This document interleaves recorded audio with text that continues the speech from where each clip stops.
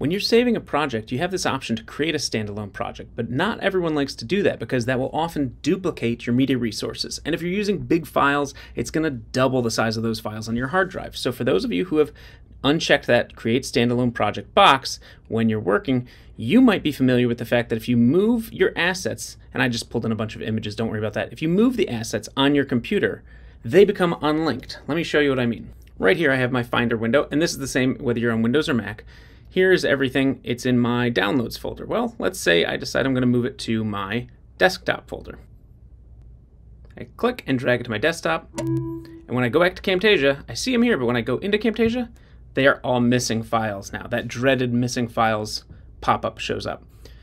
Easy fix. I know where I put the folder, so I'm going to right-click number three here and update media.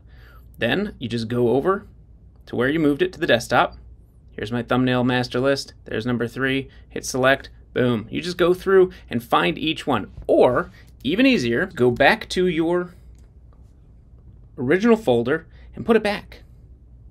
I'm going to put it back in the documents, or excuse me, put it back in the downloads folder. Yes, I want to move it. Come back in here. And now only one's missing, the one that I replaced. So I can go in, find that again, update the media. I know it's in my downloads. I know it's in the master list. And now all my files are back recovered. So right click, update media, and you should be good to go. Hope that helps.